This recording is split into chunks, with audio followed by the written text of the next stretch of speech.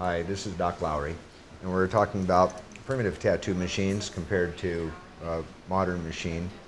Uh, most of the primitive machines are homemade equipment or referred to as jailhouse rigs. Uh, they uh, usually consist of the, kind of the same elements. They'll take a, the, they, they build off the tube. So they'll take like a big pen tube and use black tape to tape a cassette motor to it. Uh, and then have a guitar string or, uh, that they sharpen and use as a needle and uh, arm. And uh, they take their little motor and put a little eraser on it with a clip in it so it makes a little offset driver out of it.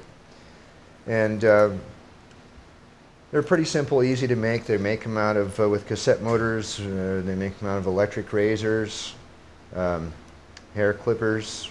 Some people will take toothpicks or uh, toothbrushes and sharpen the end of their toothbrush and tattoo with that. And they make really ugly tattoos.